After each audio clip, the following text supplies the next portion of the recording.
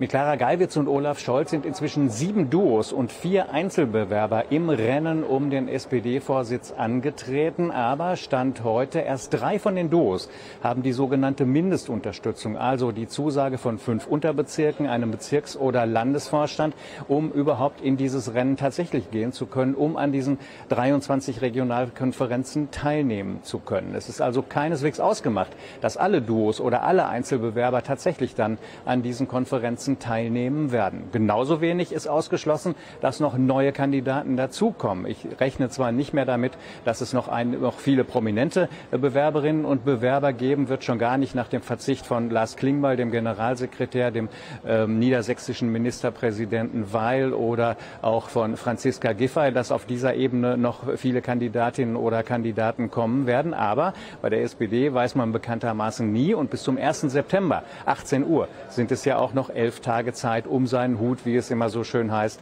in den Ring werfen zu können. Es könnten also durchaus noch einige Kandidatinnen und Kandidaten kommen. Wer auch immer dann im Rennen ist, schon jetzt ist das Spektrum relativ breit und reicht von klaren linken Positionen innerhalb der SPD bisher eher zu konservativen und damit auch äh, zwischen dem sofortigen Ausstieg aus der Großen Koalition bis zum Verbleib in dieser Koalition, um noch möglichst viel umzusetzen vom Koalitionsvertrag.